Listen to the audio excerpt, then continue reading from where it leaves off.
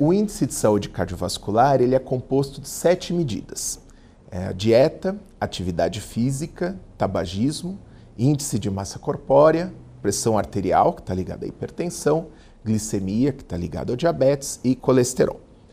Para cada uma dessas métricas é estabelecido um valor ideal, e sempre que o indivíduo tem um valor ideal, ele ganha um ponto. Então, esse score para cada indivíduo ele varia de 0 a 7 pontos.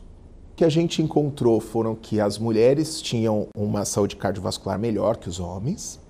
É, com o passar da idade e também fruto do aparecimento de fatores de risco, como hipertensão, diabetes, com o passar da idade, o, uh, o score ele ia diminuindo, né? então os participantes mais jovens, que no ELSA Brasil tinham entre 35 e 44 anos na entrada, eles tinham um score melhor que as demais faixas de idade, até os 65 a 74 anos, que foi a faixa de idade mais alta que a gente incluiu no ELSA Brasil.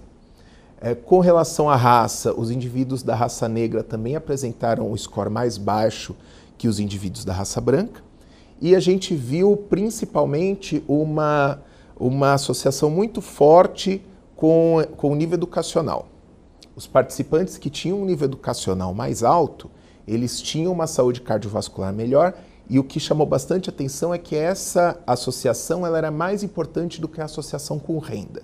Então, o nível educacional parece influenciar mais a saúde cardiovascular, os hábitos de vida da pessoa, do que é, propriamente a renda que a, que a família dessa pessoa ganha. O que a gente encontrou dentre os participantes do Elsa Brasil foi que as métricas de dieta e de atividade física foram as que tiveram a pior avaliação. É, dieta, em especial, é, havia uma porcentagem muito baixa de indivíduos que seguiam uma dieta adequada segundo esses padrões da American Heart Association. E para atividade física também, é, apesar de um pouco melhor, ainda ficava perto de um quarto dos participantes que tinham uma atividade física ideal.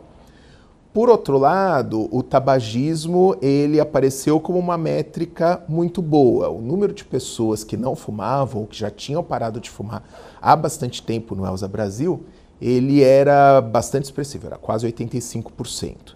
E isso, comparativamente com outras coortes, é um valor bastante alto e, de, de certa forma, ele é, chancela as políticas públicas que houve para tabagismo nesses, nessas últimas décadas.